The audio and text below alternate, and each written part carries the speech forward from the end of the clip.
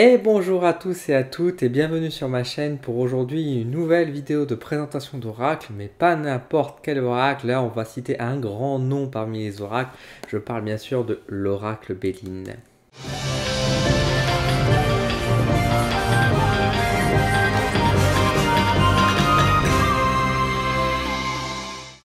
Et oui, alors aujourd'hui je vais vous présenter donc euh, la vidéo de présentation de l'oracle Béline, mais également je vais vous proposer juste derrière des vidéos d'interprétation de l'oracle Béline, justement comme j'ai pu faire auparavant sur l'oracle du miroir ou l'oracle G, je vais vous proposer une petite série de vidéos pour vous aider à mieux interpréter l'oracle Béline.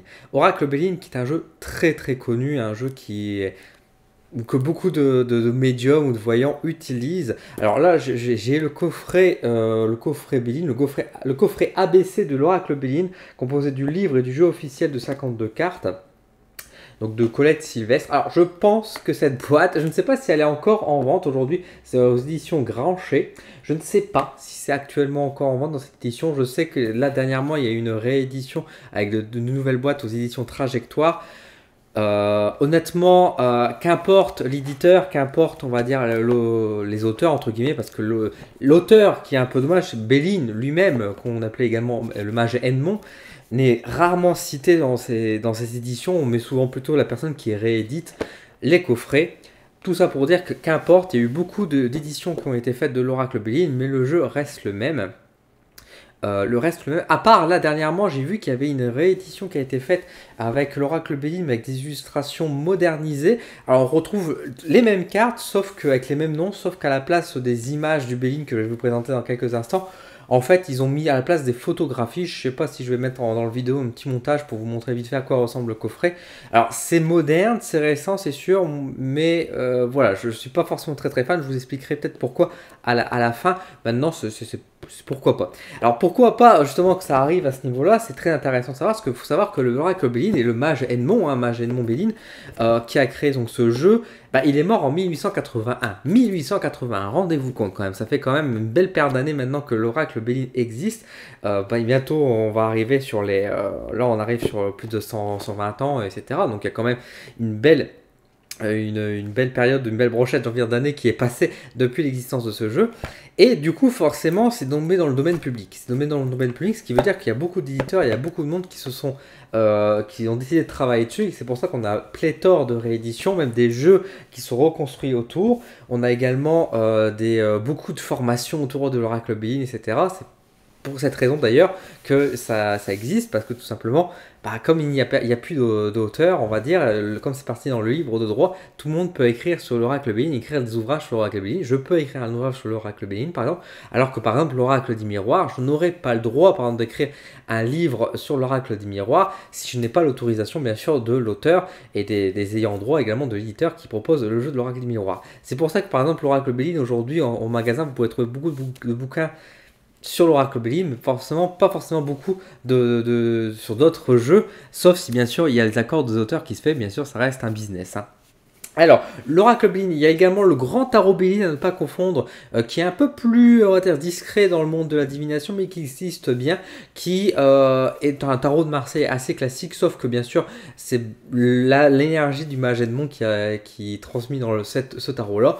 On n'est pas là pour parler de ça, on est là pour parler du fameux oracle Béline. Donc là, j'ai disposé un peu mes cartes, je vais vous montrer à quoi ça ressemble. Alors l'oracle Béline, est un grand nom dans la divination, il a ses propres énergies et surtout il est très différent et on peut voir que façon il y a un saut d'époque j'ai envie de dire entre ce qui se passe aujourd'hui en termes d'oracle et en termes euh, de, cet oracle là. Alors je vais vous montrer une carte pour vous montrer à quoi ça ressemble, donc voici déjà le dos. Alors vous voyez c'est quand même des petites cartes, aujourd'hui on est quand même plus habitué à des grandes cartes, c'est vrai que là on est, on est se retrouve avec des petites cartes qui pourront plaire à certaines personnes qui aiment bien retrouver justement cet aspect des petites cartes. Donc on a un dos bon assez, euh, assez sobre j'ai envie de dire, assez... Euh, bon, on va être clair, il n'est pas terrible, terrible. Alors mes cartes sont un petit peu abîmées parce que forcément avec le temps, je les ai quand même beaucoup utilisées. Mais bon, globalement, vous verrez à quoi ça ressemble. Donc on a un dos qui est quand même un dos étoilé, bon assez, euh, assez austère, j'ai envie de dire. Et voici à quoi ressemblent les illustrations. Donc vous voyez, c'est des dessins illustrés qui sont euh, assez, euh, assez simples, assez, j'allais dire entre le, j'allais dire un peu abstrait, mais c'est pas tout à fait le mot, mais Enfin, c'est un dessin assez rapide, assez euh, unique finalement aussi de, l'oracle Béline. Euh, on retrouve toujours un cadre qui, qui entoure toutes les cartes. Hein. Si je prends une autre carte, vous voyez qu'il y, a également le cadre qui est ici. On retrouve donc l'illustration qui est au milieu. On retrouve juste sur le... non, c'est par ici, je crois, si je me trompe pas. Non, c'est bien là. Ici, sur le côté, je vais rapprocher à la caméra avec le focus qui va se faire. Voilà. Sur le côté gauche, du coup, euh, vous voyez ici euh, le nom de la carte qui est écrit en vertical avec les, mots. Donc là, c'est la campagne et la santé. Nous avons en haut, euh, dans un petit encadré, dans un petit écusson, nous avons le symbole astrologique parce que chaque carte est reliée soit à une planète, soit à un signe astrologique, soit à, enfin, tout ce qui est lié à l'astrologie. Et nous avons également ici en haut le numéro de la carte. Donc là, c'est le numéro 9 par exemple. Je ne sais pas si le focus va se faire. Voilà, il y a le numéro 9. Je ne sais pas si vous voyez. Il est assez discret le numéro. Donc c'est un jeu qui est quand même assez complet dans sa réalisation parce que forcément on, a, on retrouve le nom, l'illustration, on a même les symboles astrologiques, ce qui se fait pas toujours euh, sur beaucoup de jeux d'oracle. Et on avons également un petit numéro, numéro qu'on se sert très peu mais qui peut éventuellement servir à certaines personnes avec un encadré. Et toutes les cartes ressemblent à peu près à ça. Donc là si je prends une autre carte par exemple, on a la carte de la réussite. Donc voilà à quoi ça ressemble, la réussite. Donc vous voyez qu'on a également toujours le même symbole. Alors là c'est marrant parce que j'ai pris exactement le même symbole. Je crois que c'est le symbole du soleil si je me trompe pas. Je ne suis pas très euh, grand connaisseur de l'astrologie, en tout cas les symboles astrologiques, je ne les connais pas par cœur. Donc ici, nous avons la carte du hasard. Hop. Euh, nous avons ici, par exemple, la carte de la passion. Voilà, je vous montre à quoi ça ressemble un petit peu. Et par exemple, ici, nous avons également la carte de la trahison. Trahison, trahison. Et c'est ce qui m'amène à dire justement que pourquoi cet oracle est si mythique et pourquoi cet oracle euh, a cette énergie si particulière. Bah, comme je vous ai dit, c'est un jeu d'oracle qui commence à dater. C'est quand même un jeu d'oracle qui va avoir bientôt deux siècles d'existence. Forcément, le monde d'aujourd'hui n'est plus le monde que le mage Edmond a connu à cette époque-là. Alors, euh, je vais pas dire que tout a changé dans le monde, bien sûr, il y a les grands thèmes qui vont rester, j'ai envie de dire, euh, ad vitam aeternam, mais il y a beaucoup de choses, bien sûr, qui ont évolué sur la manière de penser, surtout. Euh, et le truc, c'est qu'aujourd'hui, on a beaucoup plus d'oracles, on va dire, qui sont beaucoup plus, euh, j'allais dire, un peu plus doux, plus légers, qui partent sur le développement personnel et surtout vers le bien-être, là où l'oracle Béline est un oracle de divination et qui était là pour donner une certaine vérité implacable. Et c'est pour ça, et là, justement, dans l'interprétation des cartes des je vais vous faire juste derrière en vidéo. Regardez-moi ça, il y a quand même, je, je compte avec vous, 1, 2, 3, 4, 5, 6, 7, 8, 9, 10, 11, 12, 13. Il y a 13 cartes au babo et on pourrait même mettre d'autres si on le souhaite. Il y a au moins 13 cartes qui sont considérées comme négatives dans l'oracle Billing. Et c'est des cartes qui sont assez violentes. On avait la carte de la trahison, on avait une carte de la maladie. Rappelez-vous, c'est quand la dernière fois dans un jeu d'oracle euh, récent, avez-vous vu une carte qui parlait de la maladie? On a des cartes qui parlent de la santé, mais on ne parle pas de la maladie. Donc vous voyez qu'on a des cartes qui sont beaucoup plus fortes, beaucoup plus directes. Et c'est ça l'énergie du Billing, c'est que, et c'est sa grande force aussi aujourd'hui, c'est que le Billing, eh ben, il va pas dans la... Il n'est pas là pour vous caresser dans le sens du poil. Il est là pour dire les choses de manière directe, de manière franche. Et c'est un oracle qui peut faire peur, parce que c'est un oracle qui, bah, comme je dis, est vraiment direct, il est tranchant.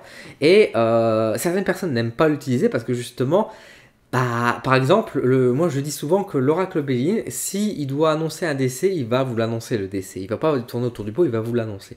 Là où un autre jeu, comme par exemple l'oracle des miroirs que je peux que j'adore, hein, vous le savez, mon amour pour l'oracle des miroirs, le, décès va être beaucoup plus difficile à aller chercher dans l'oracle des miroirs. L'oracle Béline, il ne va pas tourner autour du pot, il va te le dire tout de suite.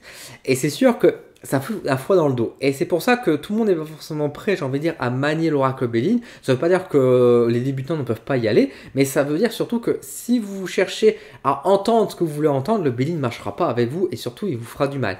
C'est un, un oracle qui demande quand même beaucoup d'énergie également, qui demande quand même d'être bien associé avec lui et de le respecter, chose qui est aussi, on va dire, très différent aujourd'hui des jeux d'oracle qui ont tendance à encore une fois, à vouloir faire plaisir, aller dans le bien-être. Alors je dis pas que tous les jeux sont comme ça, attention, mais il y a quand même beaucoup aujourd'hui, je trouve, des oracles qui sont dans des effets de mode et puis qui sortent beaucoup de cartes qui vont surfer sur des grands thèmes, qui vont euh, dire les choses de manière directe et facile et, et qui peuvent pas marcher parce que j'ai un oracle qui donnerait les réponses tout de suite, oui, non, pour moi ne peut pas fonctionner ainsi. Et l'oracle Béline euh, a cette manière d'être vraiment direct et véridique, et c'est des choses qui ne plaisent pas aux hommes de manière générale, aux hommes, aux aux femmes, mais à, l'humanité de manière générale. On a toujours du mal à se confronter à la vérité froide et implacable, et l'oracle Béline a ce côté-là.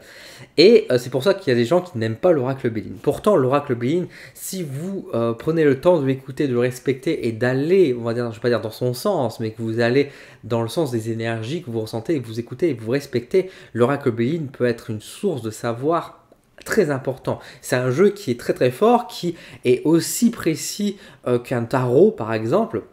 Euh, qui, peut, qui a toute la facilité des oracles également. Ça, encore une fois, on a quand même 52 cartes, c'est quand même un nombre assez important pour un jeu d'oracle. Et euh, vraiment, avec l'oracle de Béline, on peut vraiment trouver beaucoup d'infos, on peut être très précis. C'est ça la grande force du Béline.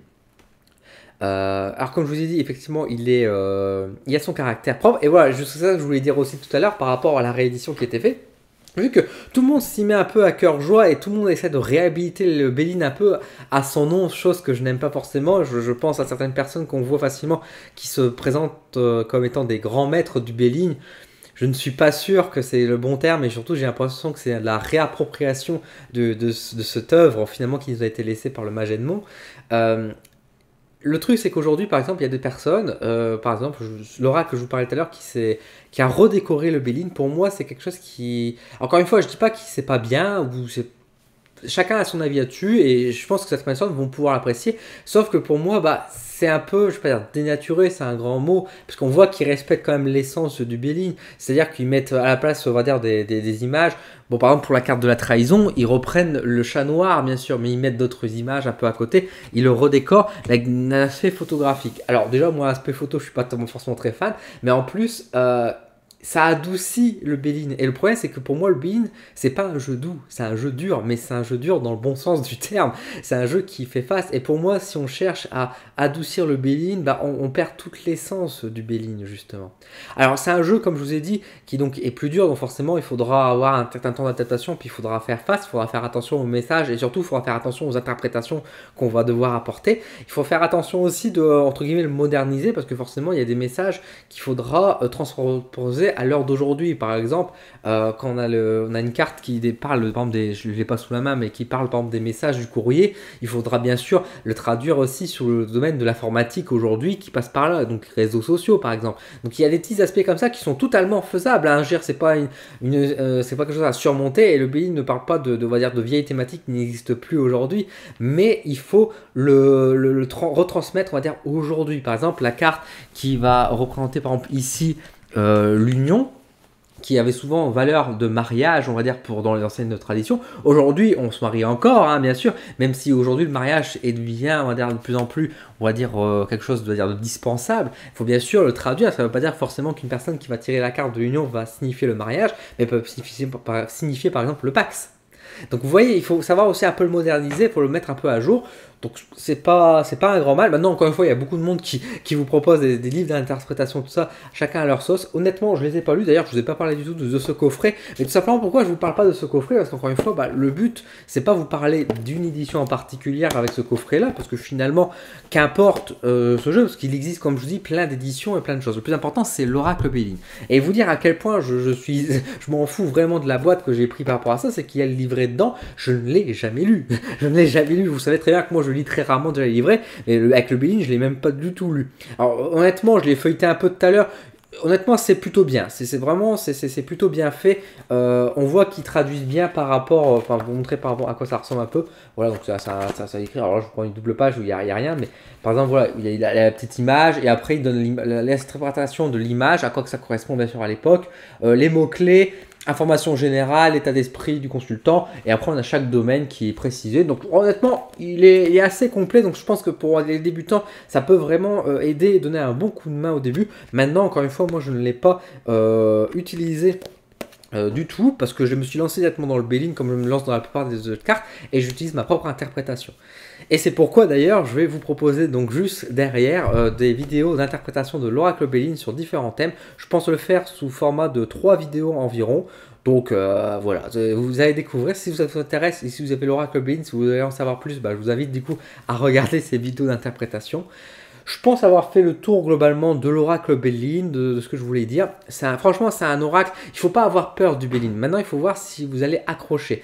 Laissez-le appeler, comme je vous dis souvent avec les jeux d'oracle, il ne faut pas acheter pour le dire parce que c'est vraiment l'oracle Béline, c'est un grand nom, il y a beaucoup de médiums qui utilisent, donc il faut avoir le Béline. Non, il faut vous écouter avant tout. Si pour vous le Béline vous appelle en tant qu'énergie, allez-y. Si par contre vous voyez qu'il y a un blocage ou que ça ne vous parle pas, c'est pas la peine d'assister. C'est juste que bah, vos énergies ne sont pas forcément compatibles non plus avec ce jeu-là, une fois qu'il peut se montrer très tranchant. J'ai une amie par exemple qui, l'oracle Béline, bah, à chaque fois qu'elle le prend en main, elle se, elle se tranche le doigt entre guillemets, le, avec le morceau de carton ça lui coupe au doigt, bah, tout simplement le Béline ne veut pas qu'il soit, soit, utilisé tout simplement. Donc voilà, faut vraiment pas s'inquiéter, faut pas. Ça veut pas dire que vous avez le Béline, que vous êtes un très bon voyant non plus, ça veut pas dire que vous êtes mauvais, c'est juste encore une fois un jeu d'oracle qui a une force, un caractère qui est vraiment distinct de ces autres euh, jeux d'oracle, surtout ceux d'actualité. Qui, j'ai envie de dire, qui manque peut-être un peu aujourd'hui. Il y a des très bons jeux d'oracle, il y en a encore beaucoup que je dois découvrir. Mais c'est vrai que l'oracle Béline, il y aura toujours euh, aspect d'unique dans le monde de l'ésotérisme aujourd'hui, en tout cas, ça c'est sûr. Donc voilà, j'espère que cette vidéo vous a plu. Si c'est le cas, n'hésitez pas à me laisser un petit commentaire. N'hésitez pas à partager la vidéo également pour faire découvrir à vos amis, bah, justement Laura Coblin par exemple. Euh, si vous avez des questions, n'hésitez pas à me les poser en commentaire. Et puis bah, sur ce, je vous laisse et je vous donne rendez-vous très bientôt sur ma chaîne. Si vous n'êtes pas abonné, je vous invite à vous abonner, effectivement. Et puis bah, ceux qui vont suivre les vidéos d'interprétation, bah écoutez, je vous dis euh, bah, bon courage, bonne étude pour ceux qui vont travailler sur ce Oracle Bélier. Sur ce, je vous laisse et je vous dis à très vite.